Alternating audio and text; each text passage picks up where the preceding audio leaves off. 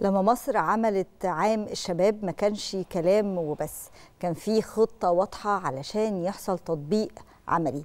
إحنا النهارده معانا نموذج عملي وواقعي لفكره تمكين وتأهيل الشباب خصوصا في المحليات. كان في مبادرة في بني سويف اسمها تأهيل وتمكين. المبادرة دي شارك فيها 46 شاب وشابة.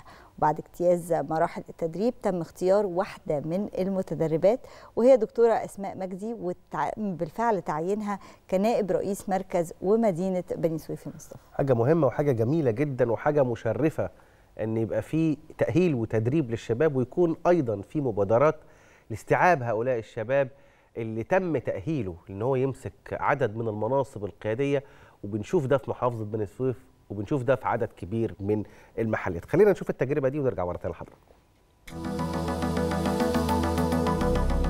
في بني سويف تم تنفيذ مبادرة لتمكين الشباب بمختلف القطاعات تحت عنوان تأهيل وتمكين.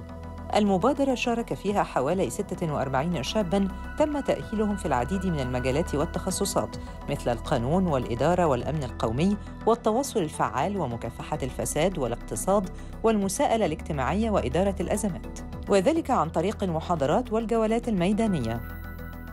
وفي مقدمة ثمار المبادرة نجحت الدكتورة أسماء مجدي المشاركة بالمبادرة في تولي منصب نائب رئيس مركز ومدينة بني سويف بعد نجاحها في إثبات قدرتها وبعد أن اجتازت كافة التدريبات ضمن المبادرة وتأهيلها.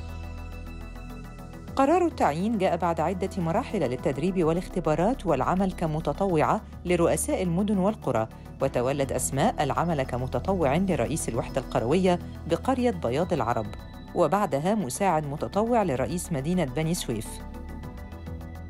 وبعد إثبات قدرتها في العمل خلال تلك الفترة تم نقلها من محل عملها الأصلي للعمل رسمياً كنائب لرئيس مدينة بني سويف بالتنسيق مع وزارة التنمية المحلية.